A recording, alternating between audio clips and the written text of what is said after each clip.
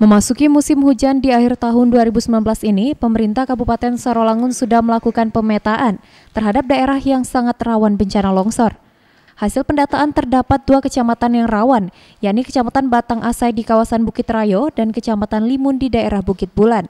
Untuk mengantisipasi terjadinya bencana, saat ini pemerintah daerah sudah menyiapkan alat berat di lokasi tersebut.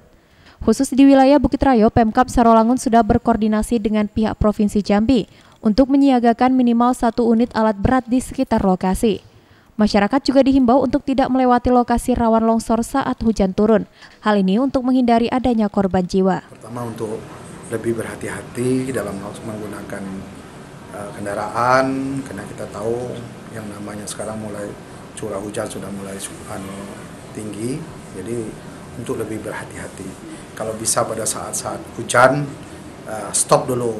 Surya Abadi Jambi TV